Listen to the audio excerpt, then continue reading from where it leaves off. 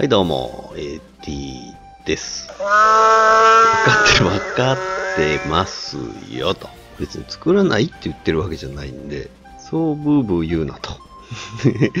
ねえ、皆さん。うるせえ、このもじゃもじゃ野郎と。銀河にもね、大人の事情っていうのがね、あるんですよ、と。と、こうやってね、長い沈黙をね、中ばっかのせいにしてはぐらかすというね。相変わらずの古速な手段ということで、久しぶりに動き出したおっさんは一体何を始めたかと言いますと、まあ、結局ね、何にも思いつかないし降りてこないというのは変わらないんですけど、まあ、なんかやんないと始まらないしねということで、前回のね、仮の性の儀を経てですね、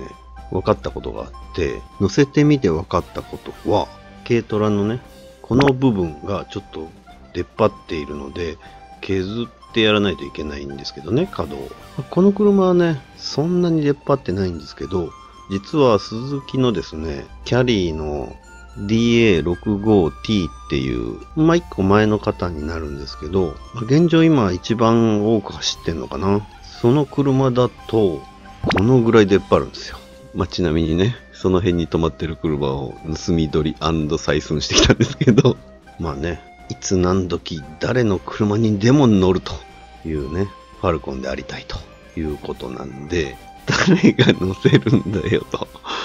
いうね、ことはあるんですけど、まあ後で削るのはもう一つ大変なんでね、できる時にやっとこうと。まあジェダイ的に言うとフォースですよね。まあ常にフォースと共にあると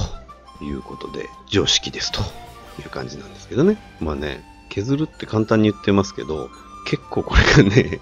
一番力のかかるところなんで、そんなに甘くないんですよね。ということで、通常の3倍の強度。高見山のね、2倍 !2 倍を超える強度ということですね。まあ、わからない人は、あのね、高見山丸八回ったかなんかいうので調べていただくと、元ね、東関親方がついてくると。え、ついてこない？あ、そうです。はい。えー、ついてこないそうです。誰と話してんだよと。誰と話してんだよということでね。ちなみに、今全くのシラフで 録音してるというね。まあね、不思議なことに、旅から帰ってきてから、ほとんどお酒を飲まなくなっちゃったんですよ。まあだからどうしたって言われると、も う困っちゃうんですけど、まあね、酒代が浮いている感じですかね。あと、まあね、よく寝れるようになりましたね。実はね、こう見えて結構なね、ショートスリーパーだったんですけど、なんていうかね、最近はもうね、8時間、9時間、余裕で寝ちゃうよみたいな、そんな感じになってきたと。まあ、原因はお酒じゃないかもしれないですけどね。まあ、どうでもいい話で引っ張るよね、というね。引っ張りますよ。なぜならね、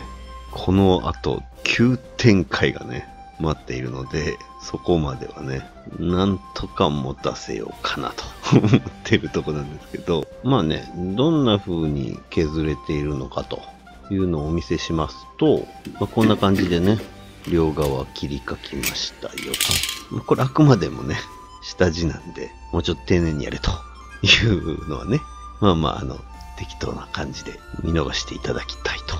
いうところなんですけど、まあね、次に何をするかっていうと、まあなくてもいいんですけどね、なんとなくここにね、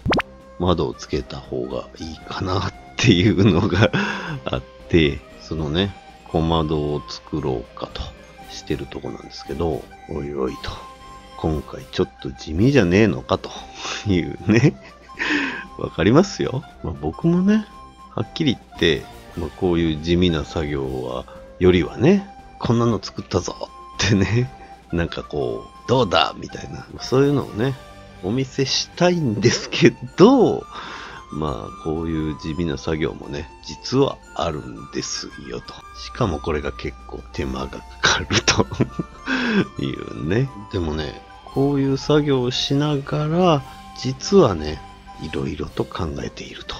いうことなんですよね。っていうのは真っ赤な嘘ですね。まあ、何にも考えてない。ね。っていうのも、これにも実は訳がありまして、この間読んだ本にね、まさにこれだなと思ったことが書いてあったんですけど、見つめる鍋は煮えないという言葉だったんですけどね。意味わかりますかね？要はね、鍋で何か煮煮てるという、するじゃないですか。その鍋をね、早く煮えないかなって言って、じーっと見てると、煮えないもんですよと。要はね、まあ、鍋に火をつけて、まあ、じーっと見てるんじゃなくて、まあ、他の作業をしながら、えー、ほったらかしとくと。そうすると、いつの間にか煮えてるもんですよね、みたいな。まあ、どっかの国の、あの、ことわざらしいんですけど、そのね、一文を読みながら、まさにそれだと。膝を叩いてて、その日はね、ぐーすか寝たんですけど、で、次の朝ですよ。はっとひらめいたんですけど、まあ、実はですね、ずっと、このファルコンを持ち上げるね、ジャッキについて考えてたんですね。まあね、あんま難しく考えずに、普通にね、ジャッキベース使ってもいいんですけど、なんか納得いかないっていうのかな。まあ、ずっとその辺をね、もやもやしてたんですけど、その朝思い浮かんだのは、リールだスピニングリールでいけんじゃんみたいな。まあ、どういうことかと言いますと、要はこういう感じでね、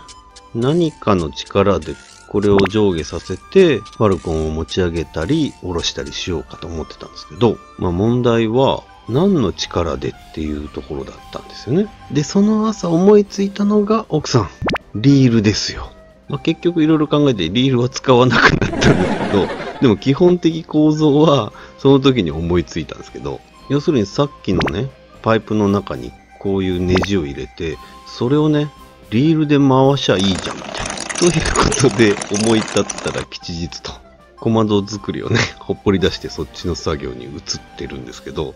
その辺はね、もう5歳児とあんま変わらないんで、興味の湧いたことしかやらないみたいな まあね、最初から見てもらってる人にとったらね、はいはい、知ってますと いうことなんですけどね。これね、もし小学校の時の担任の先生とか見てたら、まだ治ってねえのかと。数十年ぶりのね 雷を落とされそうでドキドキしてるんですけど、もう生きてねえか。まあ生きてたとしても、YouTube は見てねえだろうと。まあ見ていないことを 祈るばかりと。ということでね、先ほどね、中の棒を作ったんで、それを覆う外のね、パイプを作っていると。あとちょっと前後するんですけど、内側の棒のね、上端にひっつけるナットはこんな感じで溶接して作ってますと。これ外れたらシャレにならないんでね、まさに要といったところなんですけど、と言いながらね、西の女で要ってなんでだろうなと、ふと思ったんですけどね。ちょっと調べてみましょうか。ね。ほう。そういうことね。西じゃないんですね、あれは。両方の両っていう字が西みたいになったんですね。それに女ということで、腰を表していると。なるほどね。くびれ命ってことか。やっぱくびれか。すごいな、昔の人は。知ってます？あの、心理学上ね、男って結局このくびれをチェックしてるらしいんですよね。瞬時に。だからあのね、その効果を狙ったのが、あの、コカコ、コカ、コカ・コーラの瓶とか言いますもんね。本当かどうかわかんないですけど。っていうか何の話してんだよと。つってもね、ひたすら作ってるんでね、特に解説するところもないんですけど、あ、そうそう。あの、リールをね、使わなくなった理由っていうのは、作りながら思ったんですけど、これ別に手動じゃなくていいじゃんみたいなね。要するにこのネジさえ回せればいいわけで、ラチェットのね、レンチでもいいし、まあ言ってしまえばね、インパクトドライバーで回しゃいいじゃんみたいなことになって、えー、リールでやるのはやめたということなんですけど、で、今作ってるのが、本体とね、ジャッキをつなぐアームでして、でね、まあこれ今、まあ、結局やらなかったんですけど、荷重がね、かかった時に支える足をね、つけようかなとか思ったんですけどね。まあこれも感覚なんですけど、なんと、なんとなくいけそうな気がするっていうね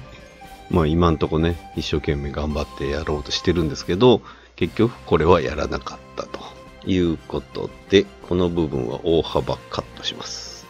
ということでね、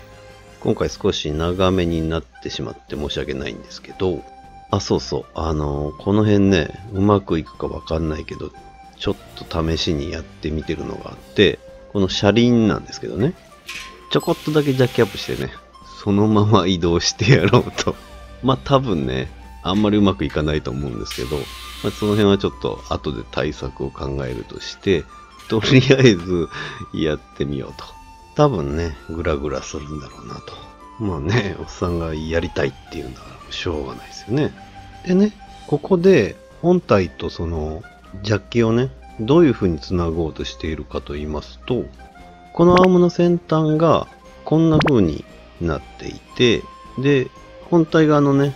受けの金具をこういう風に作ろうとしているんですよね。ということで、ジャッキを上げると、こういう風に引っかかって持ち上がると。さらに動くと。動くのかよっていう話ですけど。あとね、上のフックだけじゃ安定しないんで、下にももう一個フックをつけますと。まあ、こんな感じで、一応ジャッキの方は出来上がりということで、受けの金具の方をね、作っていきましょうかという感じなんですけど、とりあえず鉄板を切って、鉄のアングルでね、細かく作るんですけど、ちょっと細かすぎてね、難しかったんですけどね。ちょっとね、1個目と2個目の作り方が違うんですけど、なんとかできましたよと。ということでね、早速つけていきましょうかねと。ということで、取り付け位置は結構適当な感じで水止めしてきましたよと。早速上げてみましょうかね。フックの位置は問題なさそうですね。さあ、ここからちょっとずつ上げてみますよ。おー、結構いけそうですね。まあまだ1個しかないんでね。本気では上げないですけど、まあ思いのほかうまくいきそうな感じまあ、あとはやってみないとわかんないかなということでね。これはあと3つ作るのか。はあ、おいおい、踊ってる場合じゃないですよ。前途は多難だなと。ということで、また